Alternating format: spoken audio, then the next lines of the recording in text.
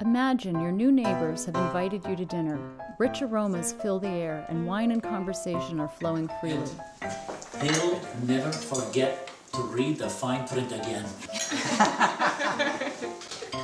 It's delicious, Bob. Thank you. I've never tasted anything like it.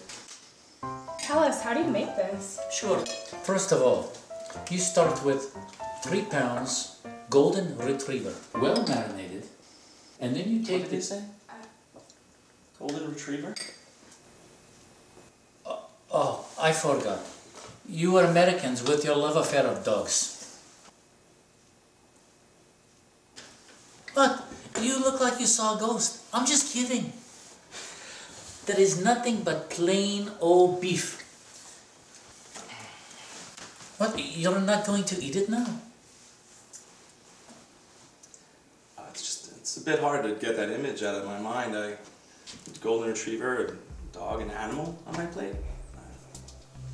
It's disgusting. That's just, it's not normal. Like most Americans, I was taught to love dogs and eat beef without ever questioning why. I never realized how bizarre it was that I spent more time thinking about which brand of toothpaste to buy than about which animals I ate and why. When my choices helped drive an industry that kills 10 and required me to disconnect psychologically and emotionally from the truth of my experience.